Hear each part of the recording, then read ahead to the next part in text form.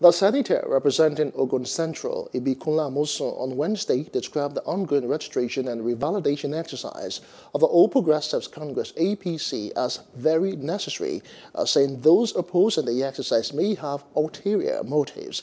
Former national chairman of the party, Adams Oshiomhole, former interim national chairman, Bisi Akande and the national leader Bola Ahmed Tinubu have faulted the exercise and described it as unconstitutional. But Amosun, who participated in the exercise in the Abeokuta South local government area, said he had been inundated with questions on necessity of the revalidation exercise. He also called for calm among his supporters who alleged in some areas of the state that they were denied participation in the exercise. Is this necessary? Yes.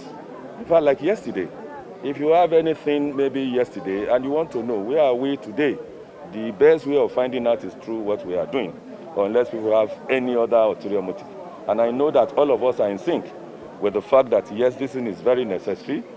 Needless for me to say, even me, I have when I was the last time we did this, my two of my children, they were not up to 18. Today they were 18, the two of them they will have opportunity even to register. That is even me. And everybody can say things like that. And I know that there's a lot of uh, uh, benefits and advantages that we'll get in doing this registration. Hello, hope you enjoyed the news. Please do subscribe to our YouTube channel and don't forget to hit the notification button so you get notified about fresh news updates.